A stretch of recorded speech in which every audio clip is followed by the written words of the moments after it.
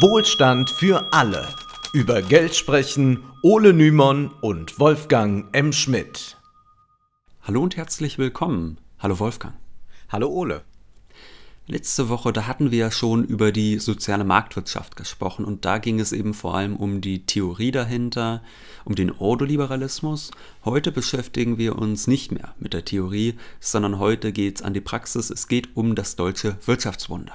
Beim Wort Wunder muss ich an Jesus denken, der Wasser in Wein verwandelte. Und wenn man das bundesdeutsche Selbstverständnis betrachtet, dann bekommt man auch das Gefühl, dass Ludwig Erhard fast schon ein Heiliger gewesen sein muss. Nur dass er nicht Wasser in Wein, sondern ein zerstörtes und ausgebombtes Deutschland in ein Schlaraffenland verwandelt hat. Immer wieder heißt es, er habe das Wirtschaftswunder möglich gemacht und dem wollen wir heute nachgehen. War das Wirtschaftswunder wirklich ein Wunder? Und welche Rolle hat dabei Ludwig Erhard gespielt? Und wer war auch Ludwig Erhard eigentlich? Ja, Mittlerweile ist es fast schon eine Art Mythos und da gibt es ein Datum, das immer genannt wird, wenn es um den Aufschwung geht, und zwar den 20. Juni 1948. So habe auch ich es in der Schule gelernt. Mhm. An diesem Tag, da fand die große Währungsreform statt. Endlich wurde mit der D-Mark eine stabile Währung eingeführt und am Abend vorher, am 19. Juni 1948, da war bereits verkündet worden, dass ein großer Teil der Preise bald freigegeben werden sollte. Vorher waren die Preise staatlich festgeschrieben, aber danach konnten sich die Preise endlich wieder frei finden. Deutschland hatte eine stabile Währung, die Marktkräfte konnten walten und von einem Tag auf den anderen waren die Schaufenster wieder gefüllt und so wurde dann der Wohlstand für alle dank Ludwig Erhard realisiert. Ja, auch ich habe das so in der Schule gelernt, was man vielleicht sagen wird nach dieser Folge. Na, auch in den Schulbüchern stehen manchmal märchenhafte mhm. Erzählungen, beziehungsweise sollte man eben auch solche großen äh, bundesdeutschen Narrative kritisch hinterfragen. Aber das war natürlich jetzt alles sehr vereinfacht, aber mittlerweile gibt es eine kritische Forschung, die das Ganze weniger bejubelt, die nicht sagte, ach, da sind die ganz großen Wunder. Und wir wollen jetzt auch fragen, was ist denn dran am Bild, das die meisten Deutschen vom Aufschwung der Bundesrepublik haben? Jetzt zuallererst muss festgestellt werden, in den Jahren nach dem Zweiten Weltkrieg, da herrschte im besiegten Deutschland wie eigentlich überall in Europa der Mangel. Es gab viel zu wenig Essen, viele Häuser waren zerstört und der Schwarzmarkt blühte. Man könnte jetzt sagen, eine bessere Ausgangssituation für einen Aufschwung gibt es natürlich nicht als so ein zerstörtes Land. Ähm, die wichtigste Währung waren damals Zigaretten, die Reichsmark war nichts mehr wert ähm, von daher konnte es eigentlich nur noch besser werden und eine stabile Währung, die war sehr, sehr wichtig. Diese Frage war sicherlich mitentscheidend. Aber auch wenn die Versorgungslage verheerend war und viele Wohnhäuser in den großen Städten ausgebombt waren, tatsächlich waren die Kriegsschäden vielerorts weniger schlimm als erwartet. Viele Fabriken hatten den Krieg überlebt, so dass die Industrieproduktion weiterhin möglich war. Die Wirtschaftsjournalistin Ulrike Herrmann hat im vergangenen Jahr ein Buch veröffentlicht, das den Titel Deutschland ein Wirtschaftswunder trägt. Und darin schreibt sie, die Optik täuschte. Trotz der gewaltigen Bombenschäden gab es 1948 immer noch genauso viele Fabriken und Maschinen wie zu Kriegsbeginn Beginn 1939. Denn Hitler hatte kräftig aufgerüstet und neue Industrieanlagen aufgebaut. Gleichzeitig war es den Alliierten kaum gelungen, die Betriebe zielgenau zu treffen. Auch die Demontagen fielen kaum ins Gewicht. In Westdeutschland transportierten die Alliierten zwar mehr als 600 Fabriken ab, aber dieser Verlust machte nur etwa 4 Prozent der Industrieleistung von 1938 aus. Das war im Westen Deutschlands also kein Problem. In der sowjetischen Besatzungszone hingegen war es so, dass sehr, sehr viele Betriebe nach dem Krieg demontiert wurden und quasi als Reparationszahlung in die Sowjetunion gingen. Und das schwächte die Wirtschaft der späteren DDR stark. Und dieses Problem, das ergab sich eben in Westdeutschland nicht. Man muss ja auch sagen, viele der Betriebe, die Hitler aufgebaut hatte, waren ja Rüstungsbetriebe. Es gab ja viel zu viel Rüstungsproduktion. Wenn da also was demontiert wurde, dann muss man auch ehrlich sagen, das hat ja auch eigentlich kein Mensch gebraucht in Friedenszeiten. Von daher war das ein sehr geringes Problem mit den Demontagen in Westdeutschland, mhm. denn die Amerikaner, die erkannten natürlich auch schnell, dass sie ein wirtschaftlich starkes Deutschland brauchen könnten im sich abzeichnenden Kalten Krieg. Es gab ja auch andere Pläne, wie man nach dem Zweiten Weltkrieg hätte verfahren können äh, mit einem ökonomisch geschwächten Deutschland, aber da haben die Amerikaner dann gesagt, nein, wir brauchen quasi ein wirtschaftlich starkes Deutschland. Und die westlichen Alliierten, die starteten ja dann auch Hilfsaktionen, etwa bei der Lieferung von Lebensmitteln, um das zerstörte Deutschland zu unterstützen. Denn auch wenn die Kriegsschäden in der Industrie nicht so schlimm wie erwartet waren, war die Versorgungssituation äußerst schlecht. Aber die Produktion lief laut Ulrike Hermann bereits vor der Währungsreform langsam wieder an. Ja, aber was dann im Juni 48 passierte, also dass auf einmal die Schaufenster wieder voll waren, wie es gerne heißt, das lag nicht am Genie Ludwig Erhards. Tatsächlich hat er mit der Schaffung der D-Mark deutlich weniger zu tun, als die meisten meinen, obwohl er dann ja gerne äh, immer mit so einer großen D-Mark im Hintergrund und was weiß ich wie abgebildet wurde auf Buchcovern. Ja. Ähm, zwar war er Wirtschaftsdirektor der Beat-Zone, so hieß der Teil Deutschlands, der von den USA und von Großbritannien besetzt war, aber die Reform, die war eben vor allem von den Ideen der US-amerikanischen Besatzungsmacht geprägt. Aber, Ole, wieso waren denn plötzlich die Schaufenster richtig voll wieder. Das, das sieht doch nach einem Wunder aus. Ja, war es aber tatsächlich nicht. Tatsächlich haben viele Warenbesitzer ihre Waren gehortet, weil sie eben wussten, dass eine Währungsreform anstand und da hoffte man auf eine harte Währung, die im Gegensatz zur Reichsmark wirklich mal was wert ist und eine von den Amerikanern unterstützte Währung, die musste natürlich deutlich stärker sein. Und deshalb horteten die Warenbesitzer so lange, bis die Reform kam. Man könnte also sagen, gut, dass die Mark kam. Die Einführung der D-Mark war im Großen und Ganzen eine sehr erfolgreiche Einführung einer Währung. Jedoch muss man auch sagen, der Staat hätte durchaus vor der Einführung der D-Mark enthorten können. Dazu wurde auch ein Gesetz verabschiedet, das weitestgehend wirkungslos blieb. Dazu schreibt Hermann, das Horten verstärkte den Hunger. Anfang 1948 mussten die sehr niedrigen Fleischrationen noch einmal gekürzt werden, weil die Bauern ihr Vieh nicht ablieferten, sondern lieber auf die Währungsreform warteten. Der Wirtschaftsrat der Bietzone verabschiedete daher im März 1948 ein Enthortungsgesetz, das aber kaum Wirkung zeigte, weil Erhard als Wirtschaftsdirektor unverhohlen durchblicken ließ, dass Hortungen geduldet würden. Ach, unser Ludwig.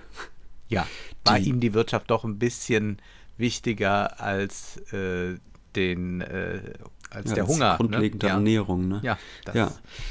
Die Währungsreform, die war tatsächlich auch für viele ein sehr unsozialer Einschnitt, denn dadurch wurden sehr viele Sparguthaben quasi vernichtet. Das bedeutete, dass alle, die beispielsweise Häuser besaßen, genauso reich wie vorher waren, während viele Bürger, deren Vermögen in Form von Geld auf der Bank lag, quasi enteignet waren. Jetzt ist uns klar, dass man nicht jede Reichsmark eins zu eins in D-Mark hätte umtauschen können ja. damals, dann wäre die Reform ja von Anfang an völlig sinnlos gewesen. Aber man muss dennoch festhalten, dass durch die Reform bestimmte Besitzformen stark privilegiert wurden. Im Übrigen ist das ja in der älteren Generation auch noch ganz, ganz fest verankert. Also diese Angst davor, dass ähm, eine Währungsreform kommen könnte, das hatte man auch dann nochmal in den 90er Jahren äh, mhm. in dem Euro-Diskurs, dass man dachte, okay, jetzt verliere ich wieder wie damals mein Erspartes und ich habe jetzt nicht zwei Häuser und dann kann mir das gar nichts anhaben oder ja. ich habe nicht eine große Fabrik. Also das ist sehr, sehr fest verankert so im kollektiven Bewusstsein auch. Was heute auch gerne verschwiegen wird, nach der Einführung der D-Mark waren vielleicht die Schaufenster voll, aber viele Bürger konnten sich ja kaum etwas leisten. Erhard gab fast alle Preise frei, die dann in die Höhe schnellten. Aber der Lohnstopp, der noch unter Hitler eingeführt wurde, der galt noch bis November 1948. Tatsächlich kam es also erst einmal nicht zu einem Wirtschaftswunder, sondern zu einer sehr großen Ernüchterung. Die Preise stiegen, während die Löhne stagnierten. Ja, und das Ganze wäre deutlich brenzliger ausgegangen, wenn die westlichen Alliierten nicht geholfen hätten. Hermann schreibt, die Not wäre sogar noch größer geworden, wenn die Alliierten nicht vorgesorgt hätten. Sie steigerten ihre Getreidelieferungen um dramatische 50 Prozent. Briten und Amerikaner wussten genau, dass die Währungsreform nur ein Erfolg würde, wenn die meisten Westdeutschen wenigstens halbwegs satt werden konnten. Auf gar keinen Fall durfte wieder der Schwarzmarkt dominieren. Also pumpten die Alliierten ab Sommer 1948 Nahrungsmittel im Wert von 827 Millionen US-Dollar in die Beatzone, um eine Mangelwirtschaft zu verhindern. Nicht Erhard hat die Währungsreform gerettet, es waren die Amerikaner und Briten. Ach, jetzt wollte man doch an Märchen glauben, an Mythen, an Helden und das ist aber doch alles sehr deplatziert. Dennoch, in den Jahrzehnten nach der Einführung der D-Mark ging es dann mit Deutschland tatsächlich steil bergauf. Das war jedoch nicht nur hierzulande so, sondern blicken wir mal ein bisschen über den Tellerrand. Das war auch in anderen westlichen Staaten so. Deutschland hatte hohe Wachstumsraten, ja, aber das war zum Beispiel in Europa gar kein Einzelfall. Frankreich hatte einen anderen Weg gewählt, die sogenannte Planifikation. Und bei dieser Planifikation, da ging es darum, dass man einen Staat hat, der viel stärker die Wirtschaft lenkt. Und auch dort war das Wirtschaftswachstum, sagen wir mal, nicht so ganz schlecht. Ja, Deutschlands Wachstum war nicht unbedingt auf die Stärke des Wettbewerbs zurückzuführen, auch wenn Erhard das glaubte. In seinem Bestseller Wohlstand für alle da schreibt er, das erfolgsversprechendste Mittel zur Erreichung und Sicherung jeden Wohlstandes ist der Wettbewerb. Er allein führt dazu, den wirtschaftlichen Fortschritt allen Menschen, im Besonderen in ihrer Funktion als Verbraucher, zugutekommen zu lassen und alle Vorteile, die nicht unmittelbar aus höherer Leistung resultieren, zur Auflösung zu bringen. Zitat Ende. Ist ja übrigens auch sehr niedlich, die Aussage, ne? Hm. dass quasi alle Privilegien durch den Wettbewerb aufgelöst sind, die nicht aus äh, unmittelbar höherer Leistung resultieren. Da muss man sagen, da kann man vielleicht bei einer Erbschaftssteuer von 100% von sprechen, aber ansonsten äh, wird das schwierig. Ja. Aber vor allem erkennt man an dem Zitat etwas, das wir bereits, also worauf wir letzte Woche schon hingewiesen hatten, nämlich äh, der Fetisch der Ordoliberalen für den Wettbewerb. Den hatte eben auch Ludwig Erhard. Erhard wollte eine möglichst freie Marktwirtschaft, frei nach dem Motto, der Markt ist sozial. Das wäre quasi die Umsetzung des ordoliberalen Leitbildes. Ein Staat, der den Wettbewerb zwar bewacht und sich aber dann darauf auch beschränkt. Dabei ist Erhard jedoch auf gigantischen Widerstand gestoßen. Generell gab es ja, wir hatten das schon mal angedeutet und es ist immer unglaublich, wenn man das so sagt, wenn man sich das so gar nicht vorstellen mhm. kann erstmal. Und das ist auch nicht so das Na äh, Narrativ von, sagen wir, ZDF History oder so, das gepflegt wird. Es gab eine antikapitalistische Grundstimmung in der Bevölkerung. Und als dann nach der Währungsreform die Preise in die Höhe schnellten, wurde der politische Protest immer lauter. Der Historiker Uwe Fuhrmann, der hat diese Zeit ganz genau erforscht und er hält ein Datum für ganz besonders wichtig. Und zwar den 12. November 1948. Ich glaube, weiß da, ja jeder genau, wann ja, was, was, da, da war, ne? passiert ne? ist. Nee, ne? weiß man ja. nicht. Weiß man nee. nicht das wissen die Leute nicht, aber gleich erfahren sie es. Und zwar fand und dort. Und wir hatten das Datum auch nicht auf Lager, müssen wir nee, auch eingestehen. Nee, nee. Ne? Vor der ja. Lektüre sicherlich ja. nicht. Und da fand in der Beat-Zone ein Generalstreik statt. Zwischen sieben und neun Millionen Beschäftigte gingen an diesem Tag nicht zur Arbeit. Also die genaue Zahl kann man jetzt schwerlich rekonstruieren, denn es fanden jetzt nicht Demos statt, sondern die Beschäftigten, die blieben einfach daheim. Heute ist sowas undenkbar, denn politische Streiks, die sind in Deutschland verboten. Und wir wissen ja, wenn mal gestreikt wird, irgendeine äh, Bahngewerkschaft hm. äh, oder so Lokführergewerkschaft, was dann los ist. Und man kennt dann auch immer diese Berichte, äh, dass dann äh, diese bösen, bösen Menschen äh, ganz Deutschland ja. lahmlegen. Es ist immer sehr putzig. Also es war auch schon mal anders und wesentlich heftiger. Und Fuhrmann meint, dass diese Streiks entscheidend waren in der Geschichte der späteren Bundesrepublik. Also die waren wirklich ähm, ein, ein so so eine Zäsur, dass man dachte, oh, da ist ja eine mhm. gewisse Gefahr, die müssen wir schon ernst nehmen. Und das geschah dann auf zweierlei Ebenen. Und zwar einerseits änderte sich die Wirtschaftspolitik, andererseits änderte sich der politische Diskurs. Die Änderung in der Wirtschaftspolitik bestand darin, dass das sogenannte Jedermann-Programm aufgelegt wurde. Dabei sollte der Staat dafür sorgen, dass Alltagsgegenstände wie Kleidung oder Schuhe günstig und massenhaft produziert werden, so dass sich die dann auch jeder leisten kann. Hier dieses Jedermann-Programm, das stand quasi sinnbildlich für eine aktivere Wirtschaftspolitik des Staates. Man erkannte, wie gefährlich es sein könnte, wenn der Staat untätig bleibt und darauf wartet, dass der freie Markt die Menschen günstig versorgt. Fuhrmann hat ein Buch geschrieben, die Entstehung der sozialen Marktwirtschaft 1948-49. Das ist tatsächlich auch online kostenlos zum Download verfügbar und wir haben es natürlich auch in der Beschreibung verlinkt. Und da schreibt er zum Jedermann-Programm, Mittel der Wahl war nun auch für die Verwaltung für Wirtschaft unter Erhard eine staatlich gelenkte Serienproduktion von Gütern des täglichen Bedarfs.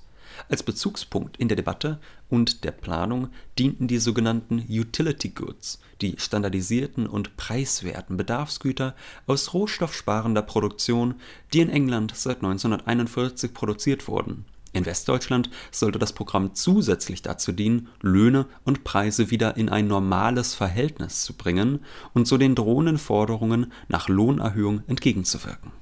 Dabei hat die Verwaltung für Wirtschaft eine planende Rolle eingenommen. Die Unternehmen, zur Knechtschaft. Ja, die Unternehmen mussten sich dann bewerben, um für das Programm produzieren zu dürfen. Und das war nämlich dann auch vorteilhaft für die Unternehmen, da sie bevorzugten Zugang zu Rohstoffen hatten, wenn sie für das Jedermann-Programm produzierten. Hier hat der Staat also eine planende Rolle gespielt bei der Produktion grundlegendster waren. Mit einer freien Marktwirtschaft, wie sie Erhard vorschwebte, mit dem eigentlichen Wettbewerbsgedanken hat das wenig zu tun. Ja, der Wettbewerb, der Wettbewerb, wir hatten es auch in der letzten Folge schon mal angedeutet. Es gibt ja diesen Begriff Deutschland AG, also so diese Verflechtung von Großindustrie, Großbanken und so weiter.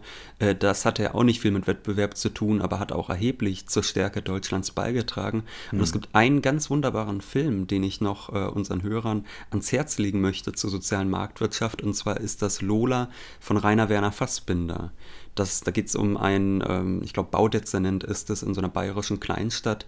Und äh, der ist dann umgeben von dieser ganzen äh, Korruption und von dieser Verflechtung der Unternehmungen mit der Politik ähm, und verliert da jegliche Illusion. Und es ist eine ganz, ganz herrliche Satire auf die Bundesrepublik und eben auch auf die sogenannte soziale Marktwirtschaft. Das nur mal am Rande, sehr, sehr äh, guter Film, kann man sich mal ansehen jetzt ist ja auch gerade für viele etwas mehr Zeit da.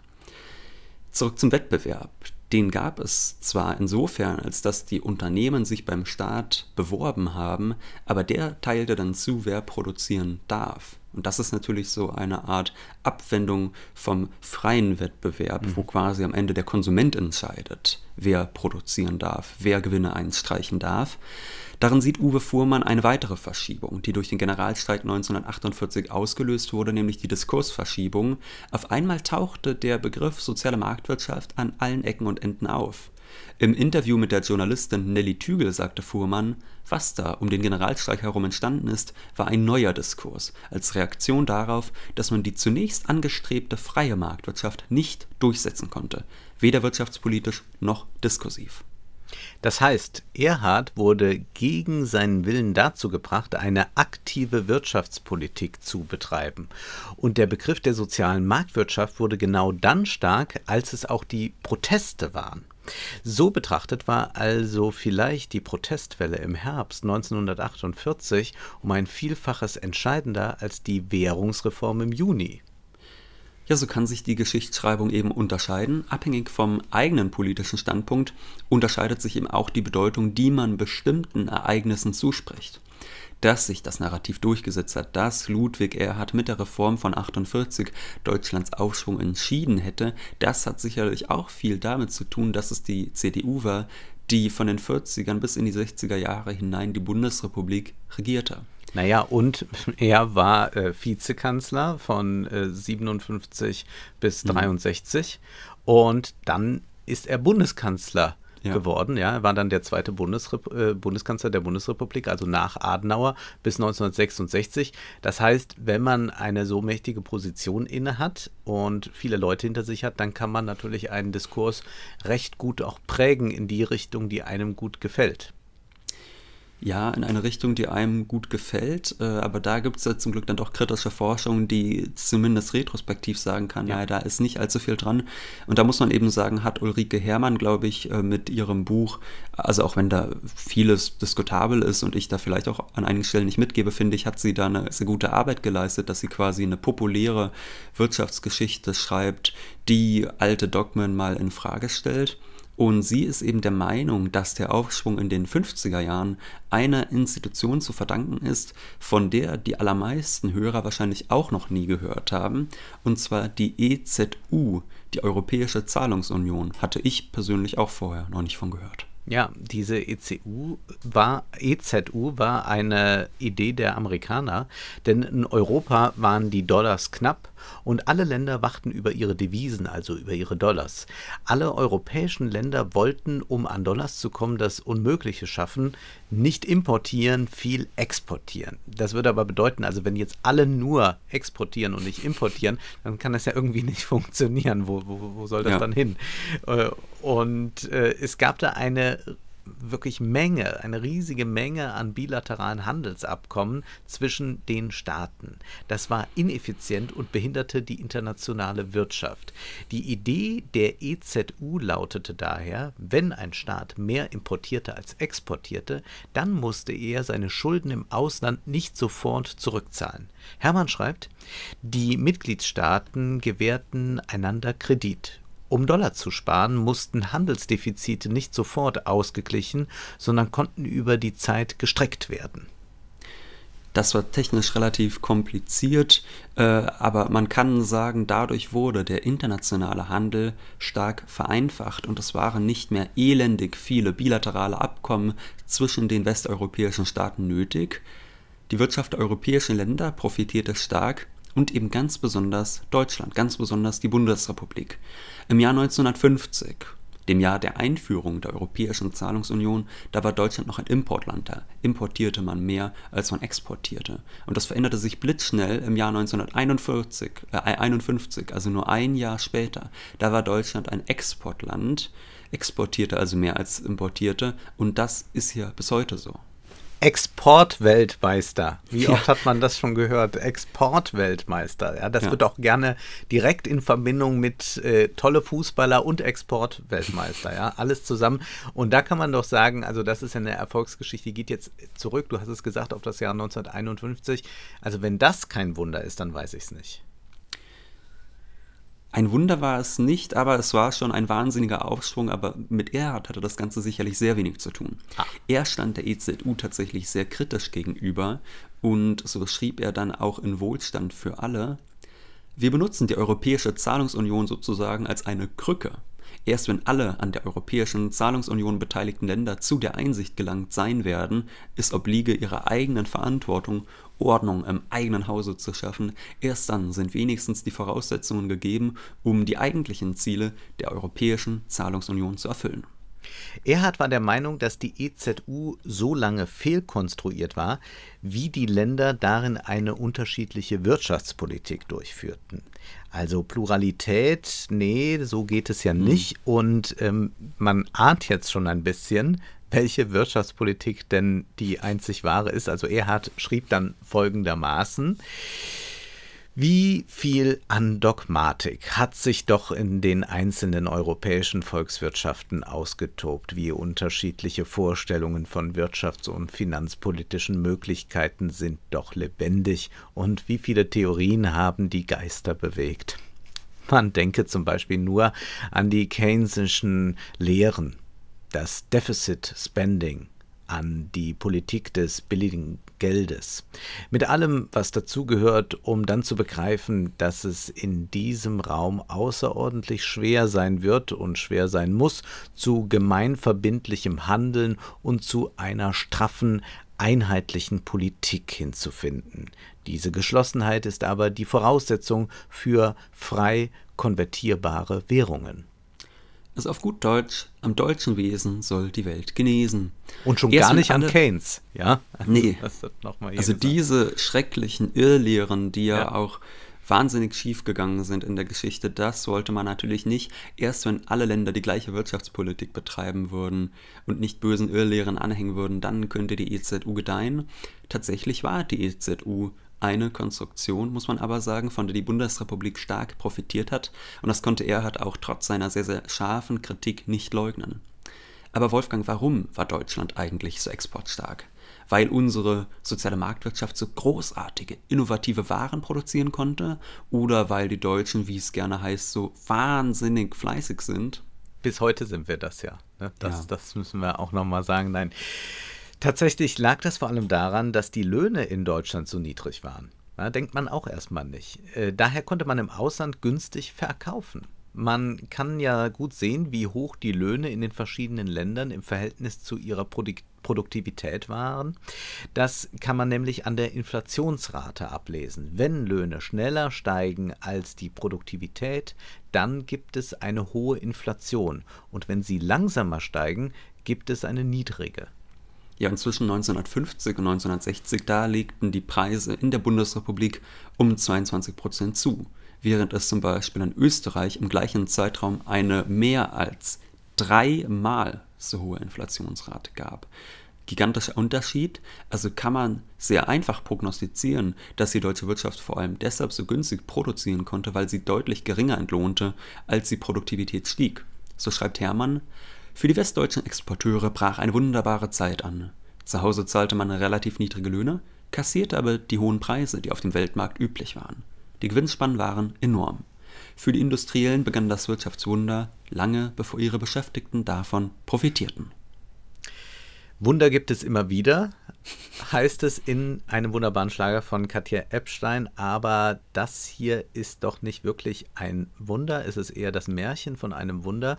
Das Wunder gab es in gewisser Weise, aber das wurde durch niedrige Löhne, durch europäische Institutionen und auch durch den Widerstand aus der Bevölkerung gegen eine unsoziale Wirtschaftspolitik möglich das widerspricht der Geschichte von Deutschland, die wir so immer erzählt bekommen. Ja, Deutschland wie Phönix aus der Asche hat sich dann erhoben, wurde stark. Von daher. Den eigenen Schopf aus dem Sumpf gezogen. Ja, ja, ja, ja. Und, und äh, dazu dann die Zigarre in der Hand äh, von Ludwig Erhard. Von daher ist es sehr äh, bereichernd, wenn kritische Forschung dafür sorgt, dass alte Märchenerzählungen hinterfragt werden und man dann eben das Märchenhafte da vor allem erkennt und man doch einen neuen Blick darauf werfen kann. Nun ist aber erst einmal Schluss für heute, denn eines gilt nach wie vor, Zeit ist Geld. Prosit!